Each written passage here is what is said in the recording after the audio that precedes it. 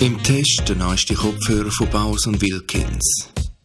Der PX7 ist rund 300 Gramm schwer und bietet alles, was man von einem modernen Over-Ear Wireless Kopfhörer erwartet. Der PX7 ist sehr gut verarbeitet und bequem zum Tragen. Er ist ideal für unterwegs, aber auch in der Nutzung daheim macht er eine gute Falle. Bedient wird der Kopfhörer über Tasten auf der Seite.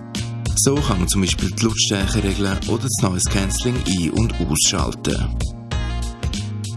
Die Geräuschunterdrückung ist effizient und blendet Umgebungsgeräusche effizient aus, was aber nicht auf Kosten vom Klang passiert. Insgesamt ist der Klang auf maximalen Hörgenuss ausgelegt. Das ausprägte Tieftonfundament verleiht Stück aus allen Musikrichtungen Substanz, ohne dass der Klangcharakter aufbläht würde. Und auch die räumliche Abbildung ist für einen geschlossenen Hörer hervorragend.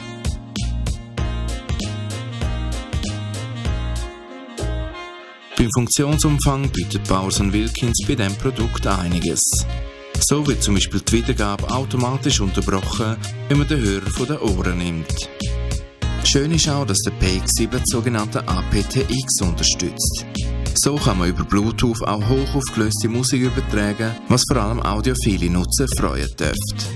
Das Abspielgerät, zum Beispiel das Handy, muss den Standard aber natürlich unterstützen. Neben der Übertragung per Bluetooth kann man auch einfach ein USB-C-Kabel nutzen, zum Beispiel um damit am Laptop zu arbeiten.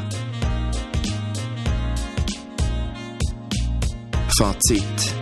Ein hochwertiger Kopfhörer mit sattem Klang und schönen Höhen. Er tönt unaufdringlich, aber sehr transparent und bietet eine gute Feindynamik. Nicht so gut ist, dass er beim Betrieb per Kabel ein bisschen auffällig auf Körperschall ist. Positiv ist, dass der Akku relativ lang hebt.